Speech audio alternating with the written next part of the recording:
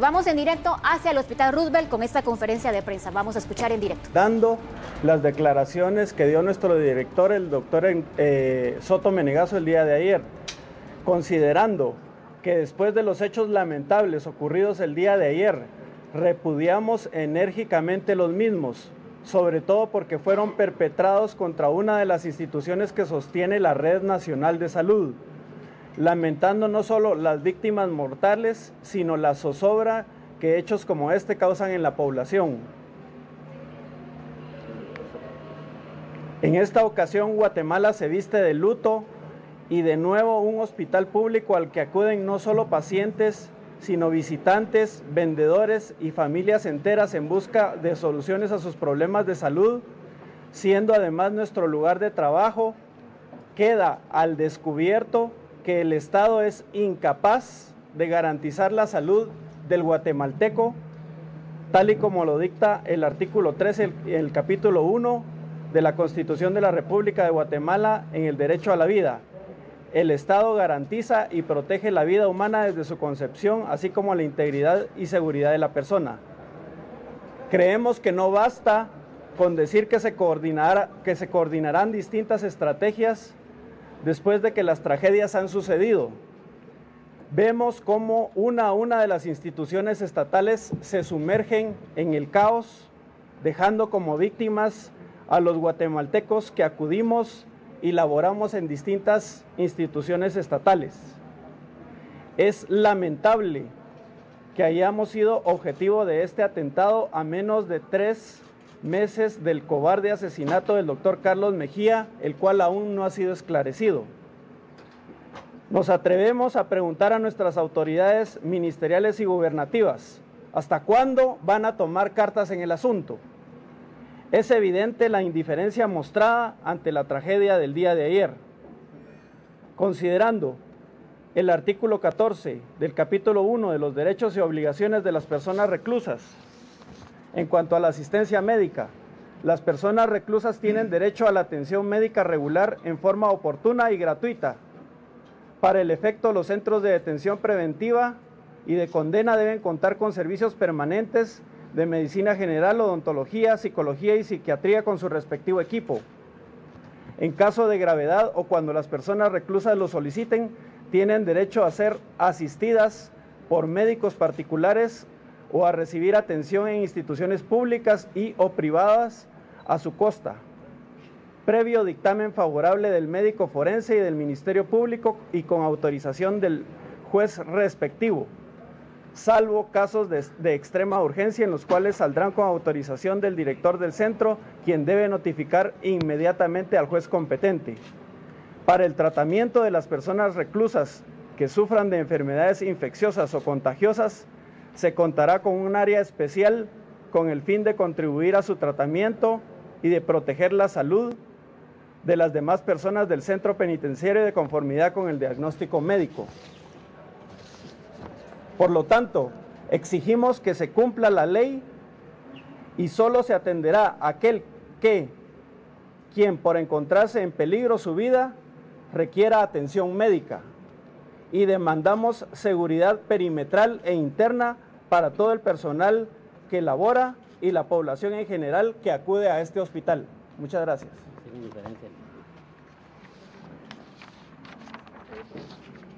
Tengo una pregunta, disculpen, ¿cómo van a quedar los servicios para la población? ¿Se están prestando, no se están prestando? ¿Hasta cuándo se van a normalizar? Bueno, realmente, bueno, buenos días, gracias por su asistencia. Realmente... ¿Será que se podía? ¿Será que se puede sentar ahí? Gracias.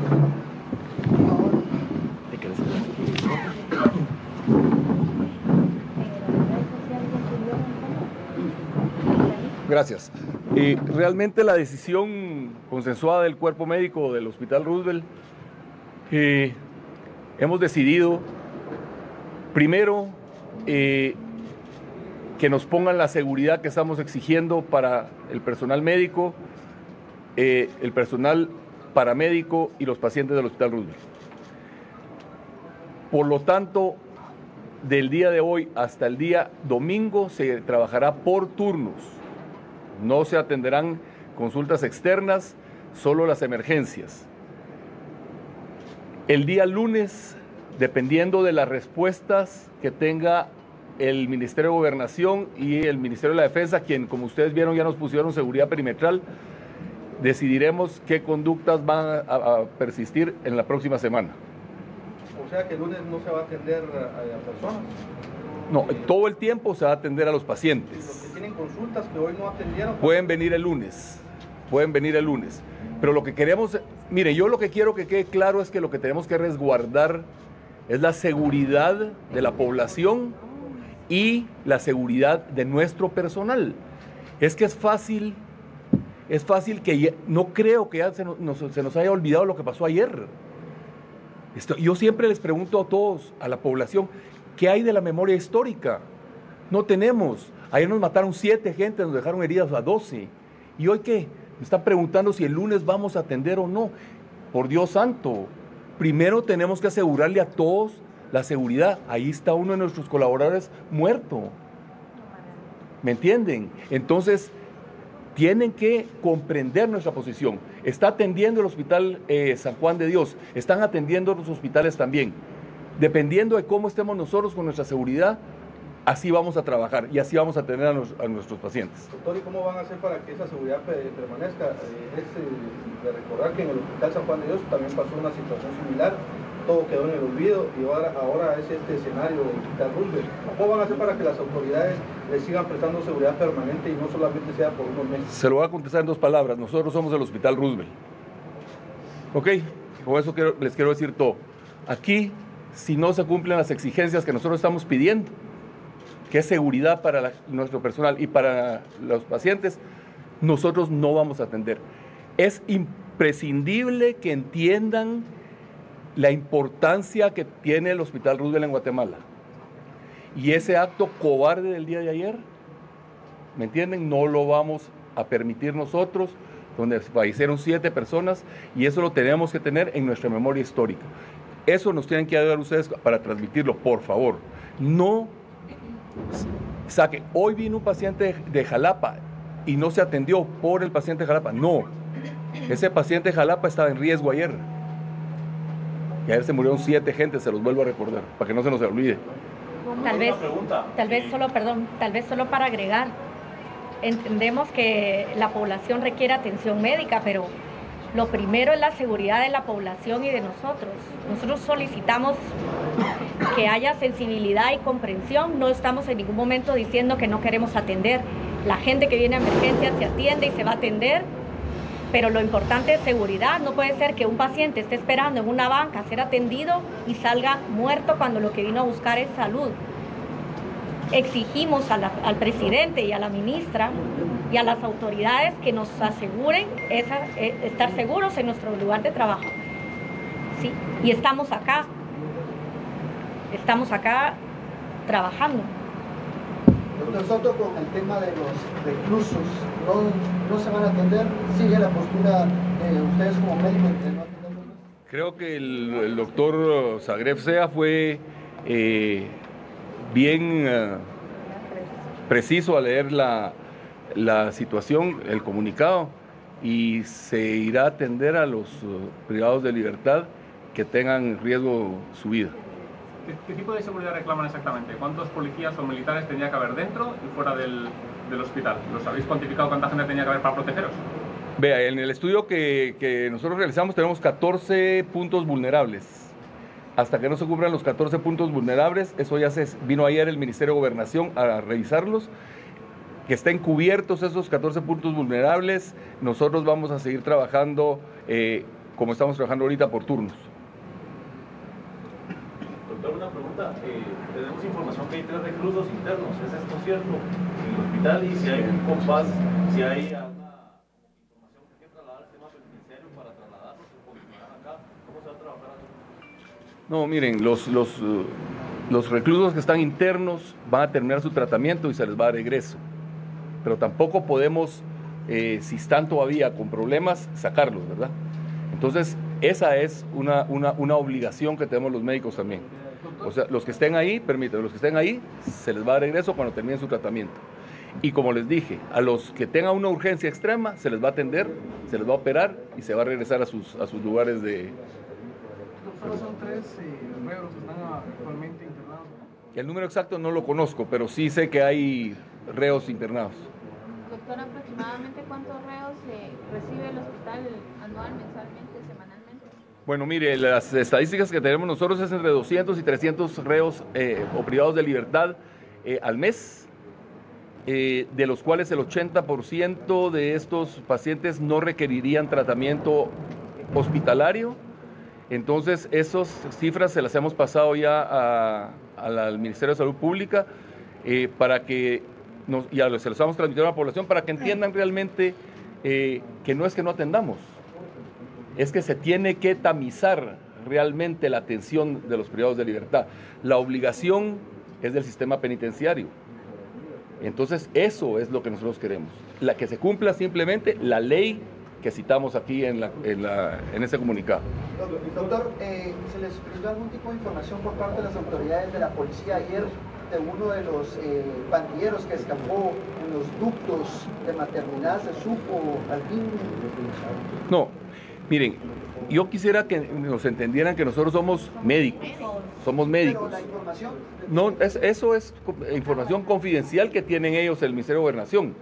Eh, nosotros realmente esa información no nos la brindan, ¿verdad? Ellos la están, la están manejando como ellos creen y nosotros lo que hacemos, nos vamos a dedicar nosotros es a contestarles preguntas sobre la salud y sobre la- lo- los temas médicos, ¿verdad? Doctor, ¿cuál es la situación que tienen las personas que fueron atendidas aquí, las personas heridas que están en este hospital?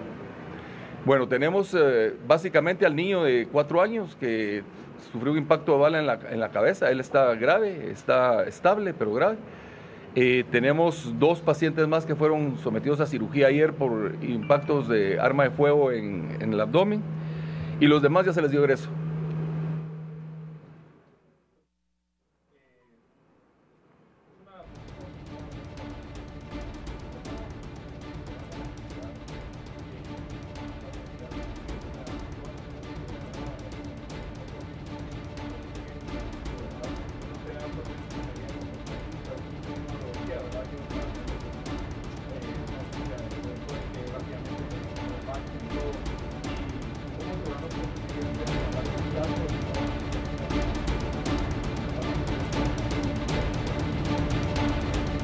Aquí hay dos temas importantes. El primero es nuestra seguridad, que eso ya estamos en camino a resolverlo. Eso es una exigencia absoluta. ¿Cómo va a resolver el gobierno? Que ese es otro tema. ¿Dónde van a tratar a los privados de libertad? Ese no es tema de nosotros. ¿Me entienden? Nosotros, por el momento, como les repito, vamos a atender las emergencias, pero el gobierno tiene que hacer su compromiso de sacar a los privados de libertad de los hospitales que atendemos nosotros, que son especializados. Ese es el tema que tendrá que ver el Ministerio de Salud, Ministerio de Gobernación, Presidencia, Vicepresidencia es, y el Ministerio de la Defensa Nacional. Ese es otro, otro tema que no nos compete realmente a, a los médicos del Hospital Roosevelt. ¿Se plantea dimitir en caso de que no responda el gobierno a sus exigencias de cubrir esos 14 puntos débiles y garantizar la seguridad del personal que tiene cargo? Bueno, vea, este, el día de hoy, afortunadamente, de verdad, y se los agradezco a, mi- a mis compañeros, eh, me están apoyando y eh, creo que eso me hace replantearme la- la- lo que dije ayer y vamos a seguir trabajando y luchando para que eh, salgamos adelante nosotros como médicos en el Hospital Roosevelt para atender a nuestros pacientes como se merece. Es Doctor importante Soto, a que- partir de la, del incidente, ¿ha tenido comunicación con la ministra de Salud?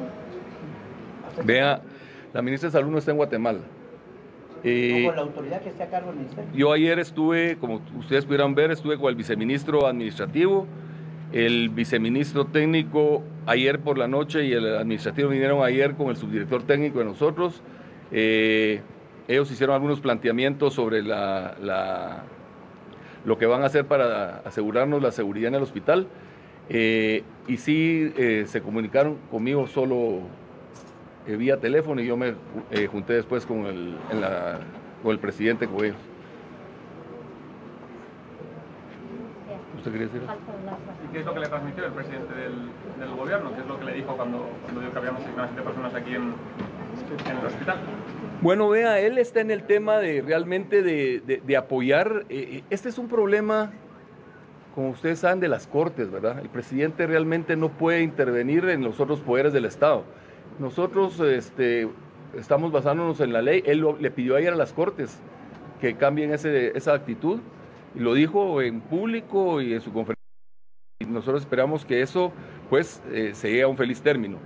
Eh, nosotros vamos a tomar nuestras medidas basadas en ley, ¿verdad? Y, a eso nos, nos vamos a ajustar nosotros simplemente como Hospital Roosevelt. Después eh, veremos cómo va caminando la situación y tomaremos otras medidas si es necesario. ¿Ok?